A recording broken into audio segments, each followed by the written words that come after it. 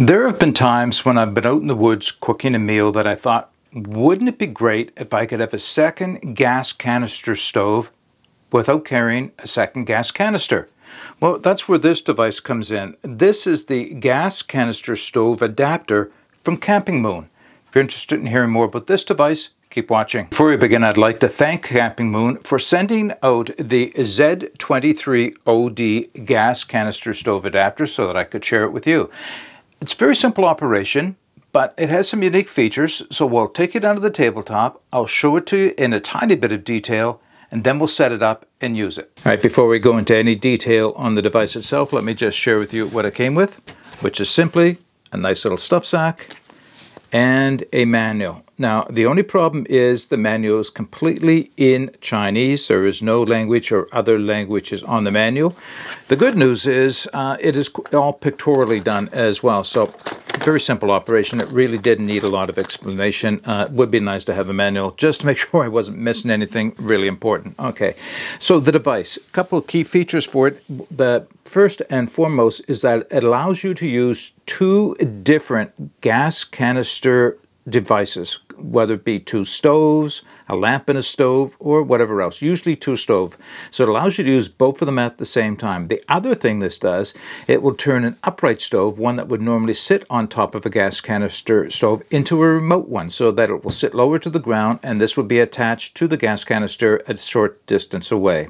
So it has those two unique features. Now, the weight of this comes in at 6.17 ounces or 175 grams as far as the length and everything else else. I'll put all that in the video description for you. So the way this is designed is that it has two of the male portion of the Lindal valves, as you can see right here. That's what you attach to the two gas canister devices, and one female version that you would attach to the gas canister itself. Now, the only other thing I'll show you is this little device right here, which is a, a check valve is what they refer to it, and it prevents leakage. So it is important to note that before before you attach this to your gas canister stove, you attach, or your gas canister, you attach whatever you're going to use, whether it's the gas canister stove or a lamp directly to the device. Then attach it to the gas canister. Reason is there are no valves on this device itself. So it's nothing here is controlling the flow of the gas. So if you put this on or try to put it on,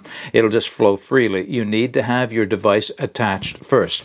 And that's where this device comes in, or this little cap, because if you only choose to use this as a device that changes your stove into a remote gas canister stove, you need this end to be covered, and that's what you can do here, is just cover that off with that little check valve on it. Now the only other thing I guess, I, I guess I can show you before we set it up and use it is how it operates. I mean, how simple is this? These are the legs, three legs. Put them upwards and then complete folding them over and that compacts it down for storage. And then again, to set it up, take them all three of them straight down and then finish rotating them out.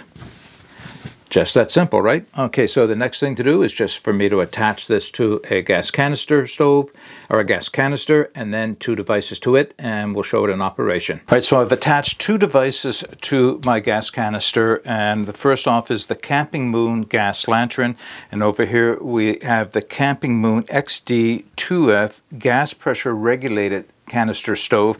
Normally this would sit on directly on top of a canister, but again, one of the benefits here is that I can set it remotely away from the gas canister, give it a little bit more stability, not sitting quite so high. By the way, I have reviewed both of these devices uh, separately in reviews, and uh, you know, I'll put links to those at the end of this video if you're interested in seeing these. All right, so the first thing I'm going to do, oh, and just as a reminder once again, make sure you have your device on the um, adapter before you attach it to your canister because otherwise gas is going to flow through because it's the the valve that's on the device itself that is controlling the flow of gas. So I have the cover off. Let me just turn the lamp on.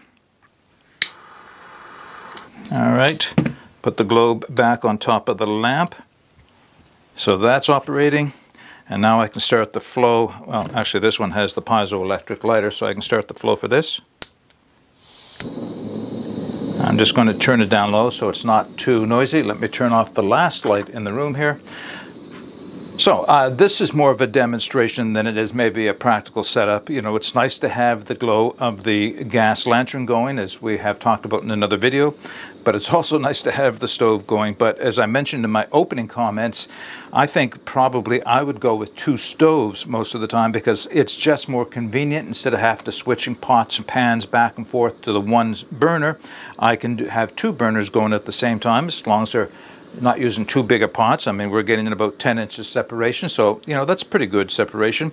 But you can see how both of these are working very well right? Very simple uh, demonstration, very simple operation. All right, let's uh, close this video up. All right, closing this video up, just a couple of comments. You know, I can't get over just how convenient this thing is to have. It's not that I've taken it out and used a lot, but there have been meals when I've been out in the woods that I thought, geez, it would be great to have a second heat source without the inconvenience of having to take in another gas canister stove. So this gives me the option of turning that upright canister stove into a remote gas canister stove and have an upright canister stove both at the same time. Yeah, it just adds a level of convenience that uh, you may want to consider.